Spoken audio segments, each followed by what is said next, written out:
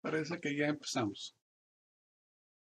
El propósito de este video es contestar la pregunta de que por qué Gerson pintó una serie de cuadros, hace como el de Atención Perros con Suerte que vimos en el episodio anterior, eh, y que no son fácilmente clasificables de acuerdo con sus periodos más conocidos como el surrealismo griego y altiplano maya. el título del, de este video es Vistas de su estudio o Vistas del estudio, porque hizo una serie de pinturas que son básicamente eso. Ah, antes de empezar, este, mencionar que este es, este es el, el, la reproducción del día, que es los días de la calle de Gabino Barrera. Este sí es conocido y más conocido en el periodo del surrealista o surrealismo que, que a principios de los 40. Este cuadro está una gira em, de arte surrealista que, está, que estaba en Estados Unidos y empezó en Estados Unidos y creo que ahora está en Europa y, y fue expuesto en el Museo Metropolitan en Nueva York.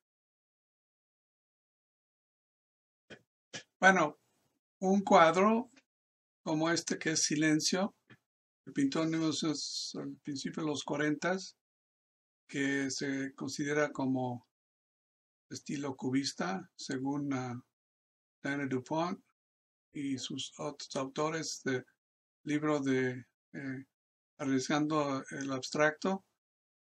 Em, la pregunta es, bueno, ¿y por qué pintó esta pintura si pues, no es cubista y aparentemente pues, no le interesa el cubismo como pintor? Este es el único, el único que hizo sí tuvo un amigo que era este considerado como experto en cubismo, que era que vivía en México, este John Golding, que después fue a vivir a Londres.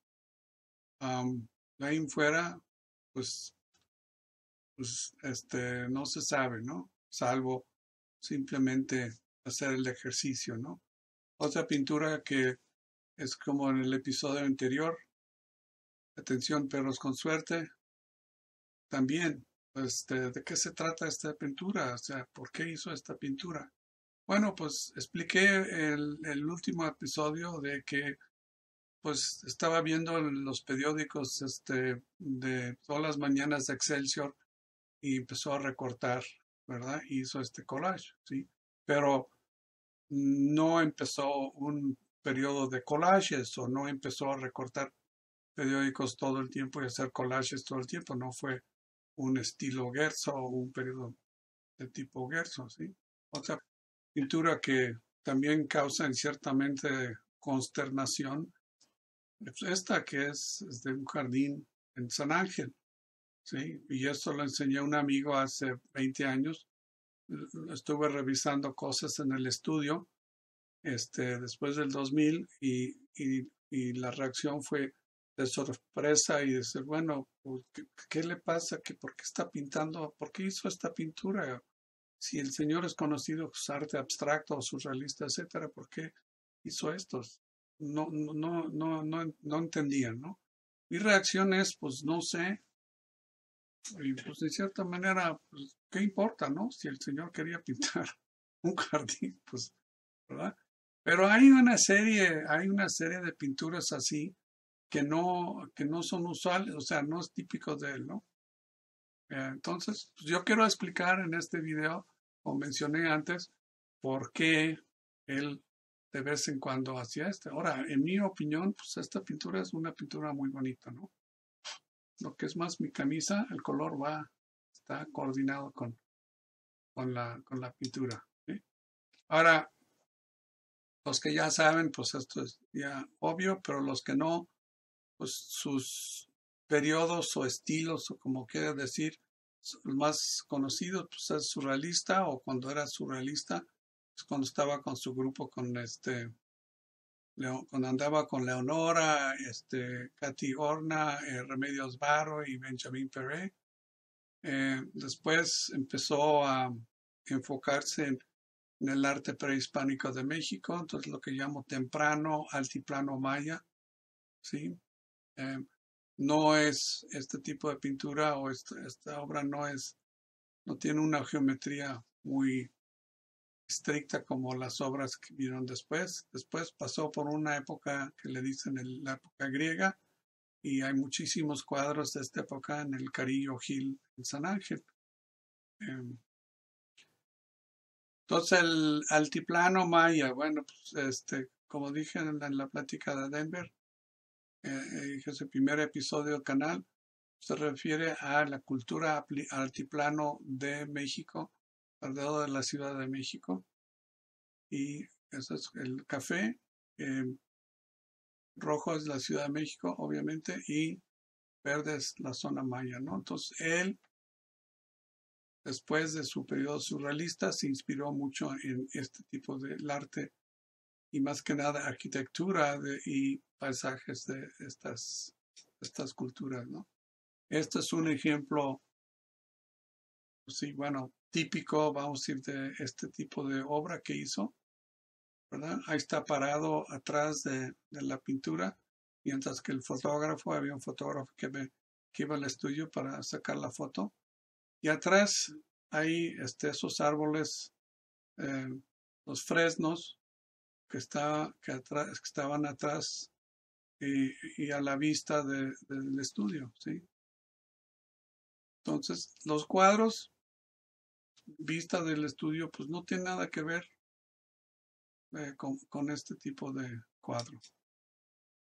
Bueno, pues poco de contexto. Sí, esta es la casa donde vivía. Este compró la casa en 47 y arriba en el segundo piso, bueno, planta baja, primer piso, segundo piso, este, estaba, era su estudio y lo construyó primero en los 40 o 50 y después lo remodeló en los 60 y lo que se ve ahí es la versión de los 60 ¿sí? y esta también la vista desde bueno esta es la calle de Fresnos y esquina con Arturo llamaba Fresnos porque había Fresnos entonces eh, pues, estos cuadros en cierta manera eh, corresponden a lo que eh, él veía todos los días, ¿no? Perros con atención, perros con suerte, pues fue inspirado en combinación del Altimaya y después lo que lo recortas de este periódico de Excelsior. Él veía esto todas las mañanas. Entonces, un poco entender el contexto y la, pues, la motivación en cierta manera, ¿no? Se levantaba, veía este periódico todos los días, todos los días, después a lo mejor era reforma a otros, ¿verdad? Y así este, desayunaba y después subía al estudio, ¿sí? Y el primer piso, ahí, ahí afuera de una terraza, primer piso, antes de subir al estudio, pues había las bugambilias, estos colores así rosa mexicana, y, gatos, había gatos en la casa. En este caso era se llamaba Morris, era un gato que rescatamos, ¿sí? Ahí está. Y este es el techo de la lavandería. Ahí está Morris ahí en el barandal, subiendo al estudio, ¿sí?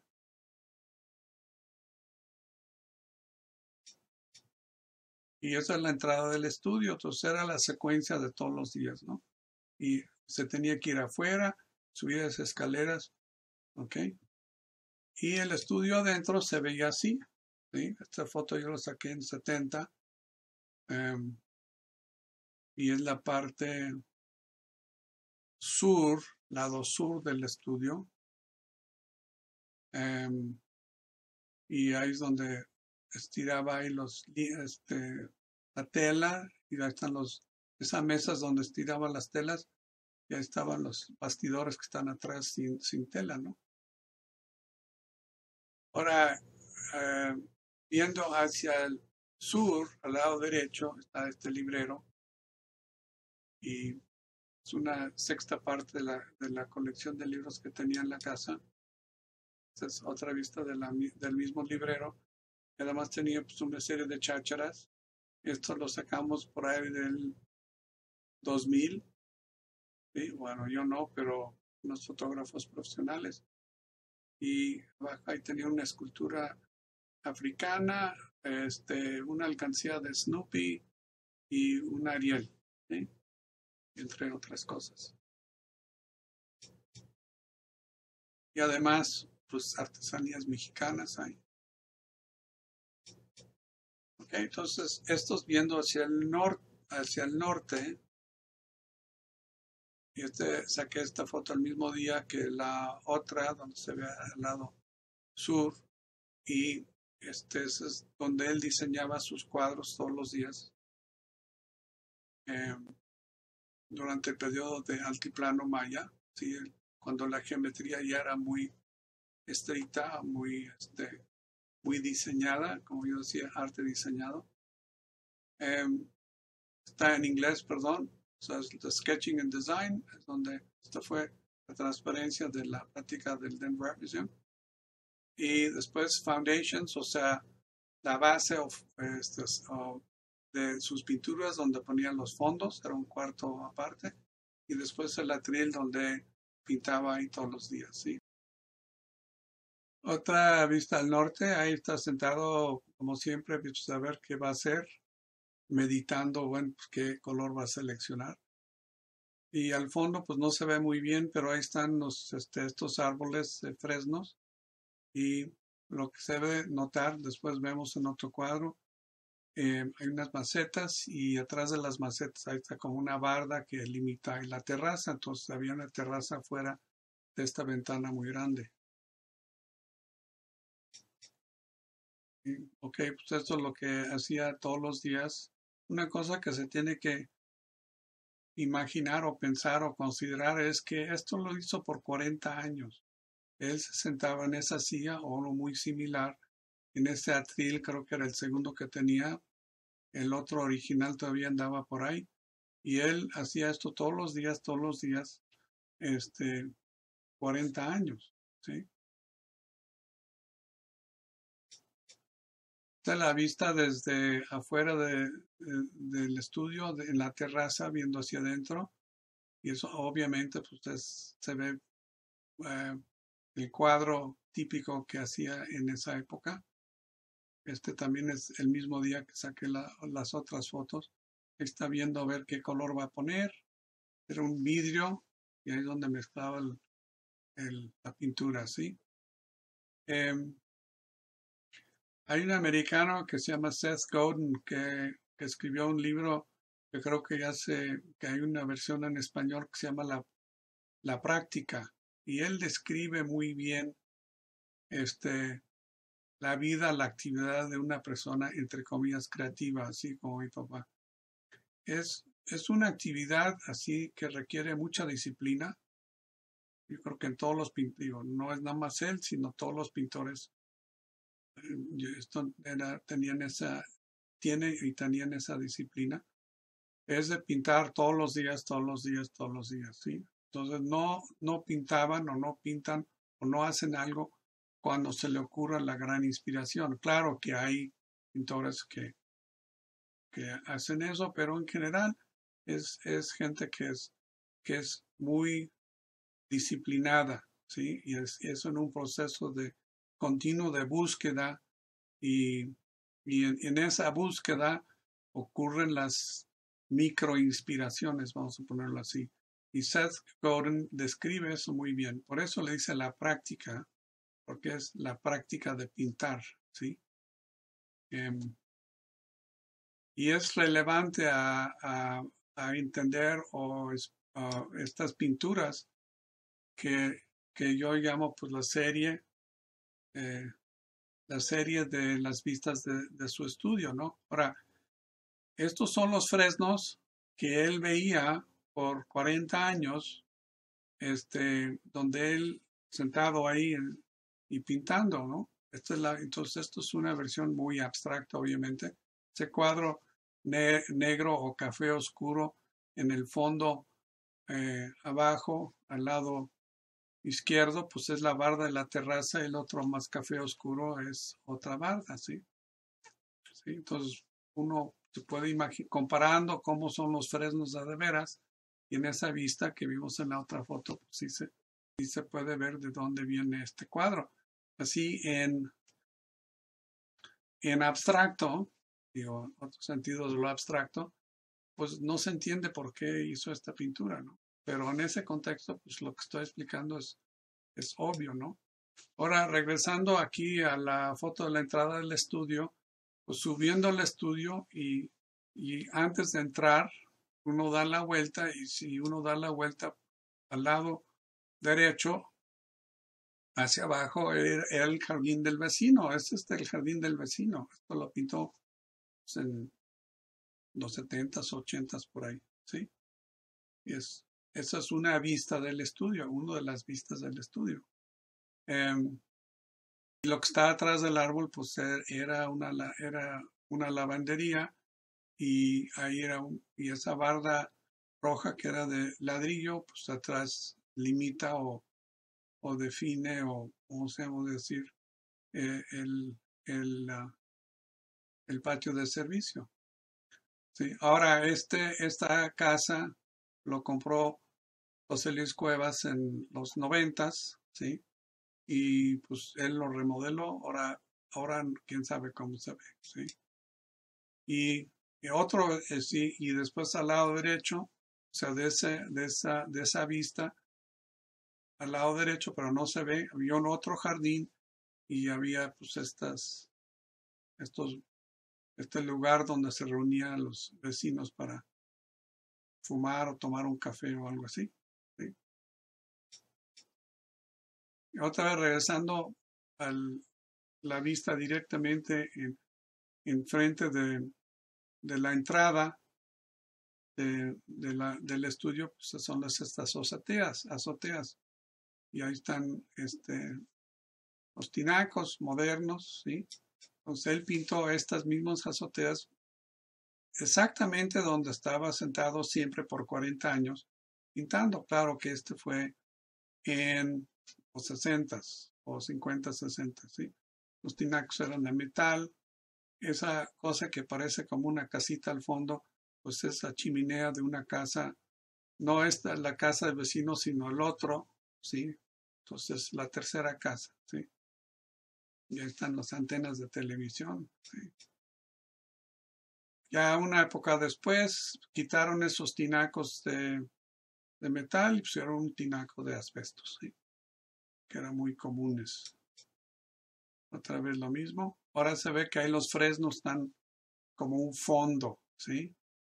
En el anterior también es como un fondo verde, ya poco abstracto. Este tiene otro fondo más de otro, otro tipo, ¿sí? Y después, pues hay este que sale en internet, no sé dónde parece, pero se llama Paisaje o Vista San Ángel, ¿no? Y pues quién sabe si exactamente la misma vista de esas azoteas, pero parecido al fondo ahí están los mismos árboles, ¿sí? Más abstractos, ¿sí? Y ahora hay otro cuadro, también poco usual que es los tacos y pues, uno pregunta, bueno, ¿por qué hizo eso? Pues una explicación es que andaba ahí por San Ángel, en el centro de San Ángel, en los 50, 60, pues había taquerías así o pulquerías, había pulquerías. Y pues, a lo mejor pasó y vio esto y lo pintó, ¿sí? En conclusión, a través de estos cuadros, de la vista, las vistas de, su estudio, eh, Gerson nos está eh, revelando aspectos de su vida personal de una manera muy limitada.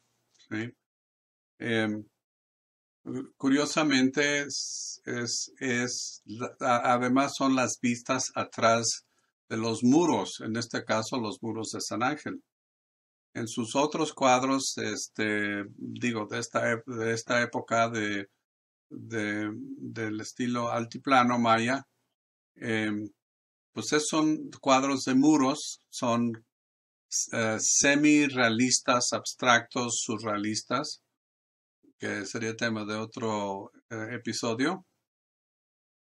Y, y, estos son, esto es, son vistas, además de sus vistas de su estudio, son vistas atrás de los muros de San Ángel. El, la pintura del vecino, ese que es así todo muy verde, esos son jardines típicos de San Ángel, que no se ven de la calle. ¿sí? Entonces hay, hay dos aspectos. Una cosa es lo que él veía de su, de su silla todos los días por 40 años al pintar, eh, y aun cuando estaba en el cine. Eh, y la segunda cosa es lo que, lo que existe atrás de los muros. Claro que él no pintaba muros, literalmente muros de San Ángel, pero eran muros, vamos a decir, prehispánicos, ¿sí? Eh, pero altiplano maya, ¿sí? Em, y la otra cosa es, eh, como he dicho, es pues eh, al, tener una rutina, al estar produciendo estos cuadros altiplano maya, pues es, es entendible de que, pues, que unos días como que no, que ya no le interesa, no tenía el mismo interés o motivación. Además, puede ser que eh, los cuadros o el cuadro que, que estaba trabajando no, no estaba funcionando, no estaba saliendo como él quería y estaba este, bloqueado, ¿no? Y esto es muy común para una persona creativa, ¿no? Como que empiezan a hacer un cuadro, una composición y lo van elaborando y de repente pues como que ya se atora como un callejón sin salida. Y, y entonces pues en esos momentos pues es, es este, entra el aburrimiento y, y, y, y se harta, ¿no? Dice, bueno, pues este, tengo que hacer otra cosa, ¿no? Ahora, en vez de decir es que estoy bloqueado, que ya no estoy creativo, que no me sale, que qué voy a hacer, pues se puso a pintar otras cosas, ¿no? Y mientras lo que estaba haciendo en sus estos cuadros de los altiplano maya, pues se va eh, cocinando, se va resolviendo el problema, pero uh, subconscientemente, ¿no? Y eso también es, es común, ¿no? Entonces, e, la pausa, el, el dejar, no tener la presión de hacer las cosas y pintar algo este, más espontáneamente como estas vistas de, del estudio, ¿sí? Ahora, la segunda cosa que es interesante, digo, según yo, es que era una, una práctica que él, él siempre tenía, o sea, desde tiempo del cine. Entonces, cuando estaba en el cine, y el cine en general entonces, y ahora supongo que es por el estilo, eh, acaban una producción. Cuando estaba haciendo películas con Cantinflas o María Félix y mi película más favorita era la, eh, El Santo contra las brujas del Barranca del Muerto, hablaba del surrealismo, ¿verdad? Ah, y entonces, pues en su tiempo libre, este, pintaba, ¿no? Y, y en muchos en muchos casos, pues pintaba aspectos de su vida personal. En este caso, el de Gavino Barrera, pues es de sus amigos, de este círculo de los surrealistas. Claro que eso es un cuadro más el complicado, ¿verdad? No es simple o intuitivamente obvio como el, la pintura del vecino, el jardín del vecino.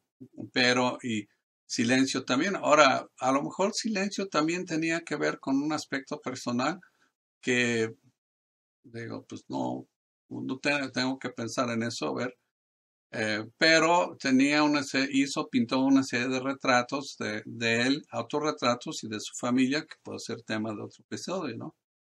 Y cuando estaba en el cine, pues hacía, pintaba en su tiempo libre y sin presión, o sea, porque una producción del cine, pues tiene un presupuesto, tiene este, un calendario eh, del proyecto y tienen que filmar y todo tiene que estar construido en el estudio, en este caso fue el estudio Churubusco, y entonces hay una presión, ¿verdad? Y los productores y que el director y qué pasó con esto. Y cuando ya cuando se acababa la producción, pues estaba en la casa, dice, bueno, pues voy a pintar algo que, le gusta pintar. Por ejemplo, este cuadro eh, que hizo eh, mientras que estaba trabajando en el cine, los 40, no, 50, em, es uh, una vista de un departamento en la zona rosa, ¿no? Es la, el gato de la calle de Londres. Y atrás está es una vista hacia Reforma, y ahí está el Ángel, Monumento a la Independencia. Y pues eso es algo que pues, hacía así en su tiempo libre, otro ejemplo para hacer en su tiempo libre. Ahora, en contraste con la pintura de, del vecino, aquí hay aspectos como una mezcla de eh, figurativo y abstracto, ¿no? Si uno ve ahí los, los edificios ahí en la vista, em, este, pues es como, ya son como los cuadros tempranos del Altimaya, ¿no? Prehispánico, ¿no? Este es como, o sea, uno lo ve literalmente, no son eh, edificios así literales, ¿no? Entonces ya es como una eh, interpretación más abstracta. Y además, pues, en el cielo, pues, de repente ahí arriba, lado izquierdo, arriba en la ventana, pues hay como un, cuadro, ¿no? O sea, pues, pues como que de repente se vuelve más abstracto, ¿no? Ahora, este cuadro, eh, ahora yo no sé, no recuerdo por qué estaba en este departamento, Ahí está una silla, la típica silla, esos este, que se compraban en México. Em, ahora, no sé por qué estaba en el departamento, pero según lo que platicó, es que un día llegó la esposa del productor eh, Gelman, em, Natasha, y le gustó mucho la pintura y se lo regaló, se lo vendió, no sé qué. Y ya después, cuando apareció una serie de exposiciones, pues este, no, no, le gustó porque dijo, no, pues el, chiste de esa, esa, pintura era más como un ejercicio, hacer algo en tiempo libre, no era algo que yo estaba haciendo como quien dice, entre comillas, en serio, como artista, nada más era algo para pasar el tiempo y, y divertirme, ¿no? Ahora, cuando se acabó el cine y y su, su, su nueva eh, eh, profesión era pintar y en el, en el sentido griego, altiplano maya, eh, esa fue su, su nueva profesión, pues entre, entre producciones, en este caso cuadros, los cuadros abstractos, pues hacía este, en su tiempo libre, pues estas vistas de los tinacos y del jardín y y, también, pues, el perro con este, atención perros con suerte, pues es lo que él veía en la mañana, el periódico, pues es lo que pues, lo integró en un cuadro, ¿no? Eh, y no, es más complicado que eso, pues, en mi, mi opinión. Em, eh, y ahora, no es la única interpretación de estos cuadros, pero se me hace interesante el contraste entre su cuadros de muros y las vistas atrás del muro, ¿no? Las vistas de, de, bueno, lo que él veía cotidianamente de donde él pintaba por 40 años. Bueno, pues espero que les fue interesante y útil. Y para los que querían saber por qué pintó estos cuadros poco usuales, pues ya una explicación, una teoría, una especulación.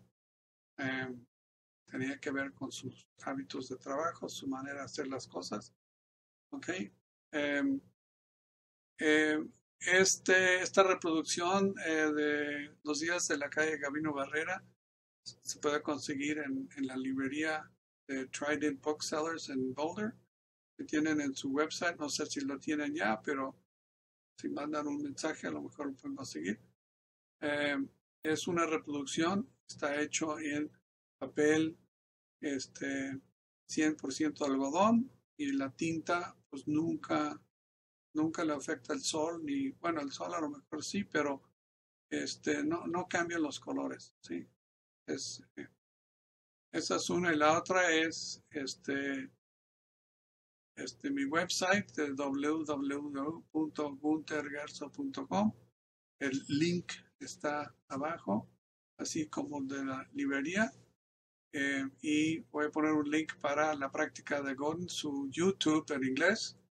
Muy interesante. Si uno lo, este, lo escucha varias veces, como que de repente se da uno cuenta eh, lo que vivió eh, al pintar estos cuadros, ¿sí? esta manera de ser, esta cultura, esta disciplina de pintar eh, o de hacer obras de arte, ¿sí? Y en el website este, de Gerso, y hay piezas este, de obra gráfica que están a la venta y como he dicho en varias ocasiones anteriores, em, es el único inventario que tengo. No soy galería, no, no, este, no soy intermediario. Eh, una vez que se vende todo, este, pues ya se acabó, ¿no? Digo, no están vendiendo así como pan caliente, pero se están vendiendo, ¿sí? Constantemente y hay algunas ediciones que ya se acabaron. Eh, nada más para recordar, esto es 2% de la producción original de la obra gráfica de Gerson. Y como ya acabé, pues me retiro.